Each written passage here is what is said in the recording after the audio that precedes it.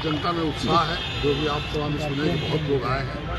हमको लगता है कि जनता तय करती है कौन जीतेगा नहीं जीतेगा। और जनता का जो उत्साह मैं देख रहा हूँ कहीं कोई लड़ाई नहीं है और जनता चाहती है कि लोकसभा में संसद में जाके हम उनकी आवाज़ बने जय श्री राम। आपके माध्यम से विश्वास दिलाता हूँ पूरी भागलपुर की जनता को पूरे लोकसभा की जनता भाई बहनों को।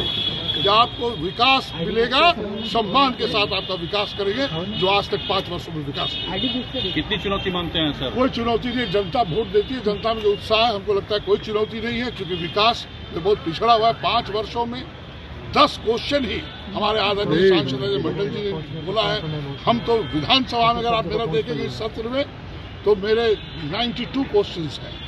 कम समय मिला है कहीं ना कहीं लोगों के बीच पहुँचने के लिए। नहीं नहीं जनता भाई बहनों के बीच हम सब जगह जाएँगे सबसे मिलेंगे सबसे आग्रह करेंगे कि आप एक बार मौका दीजिए और आपको भागलपुर का विकास अच्छा,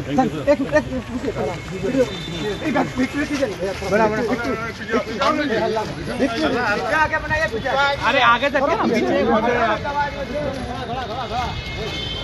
फ़ोटो भी लेना चाहिए मनोज